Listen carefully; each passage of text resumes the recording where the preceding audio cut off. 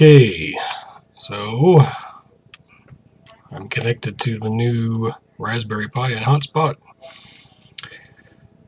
Nothing's set up yet for my digital setup, so I need to give it the default password, which is Raspberry.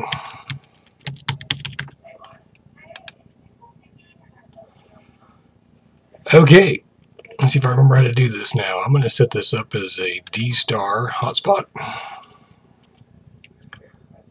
So I've already got PiStar. I'm going to call this one PiStar 2. This is my call sign.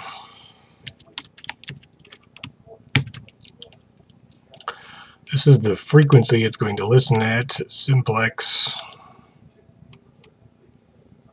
Latitude and longitude I'll get to later. Put Los Lunas in here.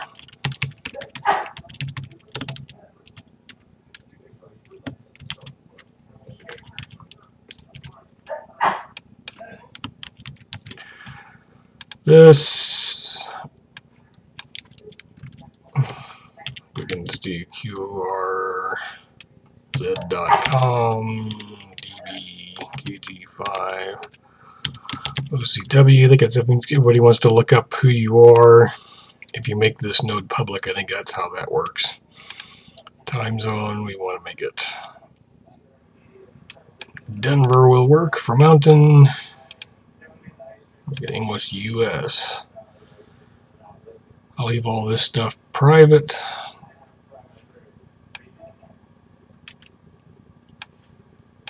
I think I want to make this B here.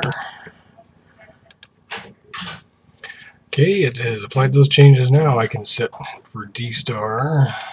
Do that. This is going to controls the OLED display on top of the device. So we'll make it that.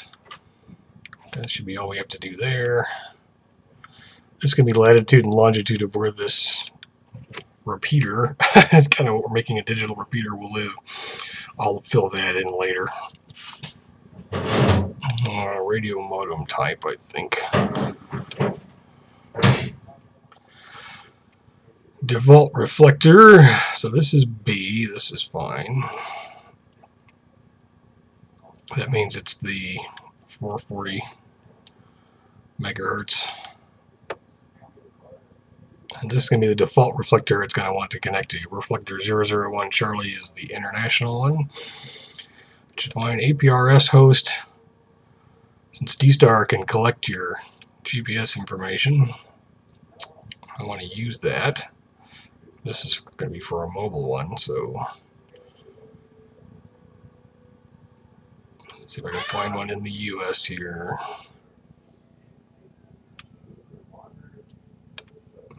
Indiana, I think, sounds good.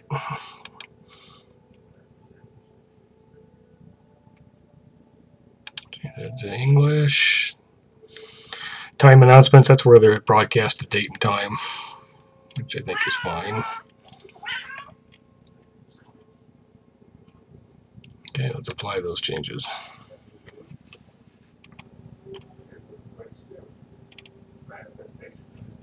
This didn't take. Let's see.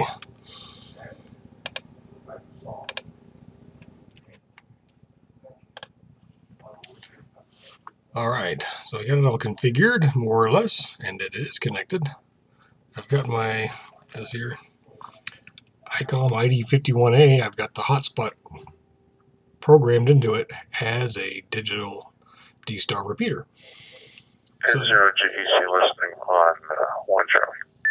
So you just heard that guy, and it comes up here on my dashboard, uh, right there. N0 GEC, he just came through. He's listening on reflector 001 Charlie. So it's acting as a repeater and it's coming through on my handheld. Maybe I could make a QSO with this guy. We'll try it. KG5 OCW radio check. How you doing, Miss On? KG5 OCW here is N0 GEC. Loud and clear in Littleton, Colorado. Okay, N0 GEC, this is Greg. I'm in Los Lunas, New Mexico. I just got finished building a hotspot and just soldered it together and I'm testing it out now.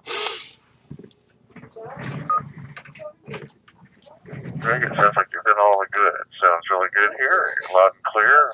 Not any distortion or R2D2 on it. Everything sounds good. N0 GEC.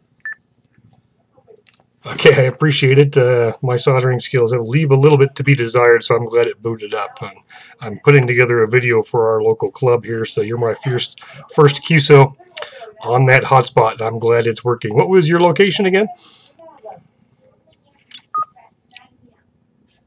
NG uh, 5 uh, QCW. This is N0 GEC.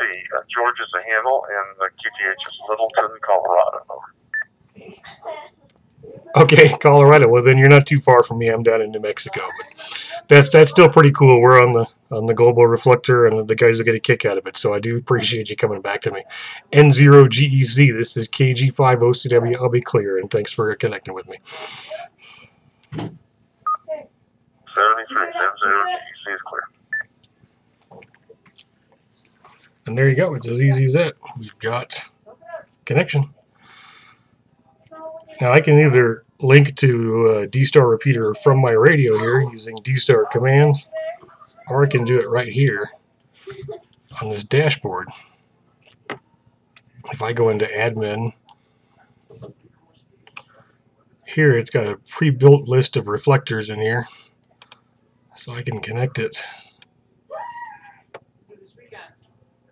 Last Friday. to the New Mexico reflector. We can do that here. 55 Charlie, I think, is it? Me and stuff here. What, what time is it? Link to R F zero five five Charlie. And there you go. It's as easy as that. Now we're on the New Mexico D-Star reflector. Anyway, I'll bring all this to the meeting. We'll try it out there.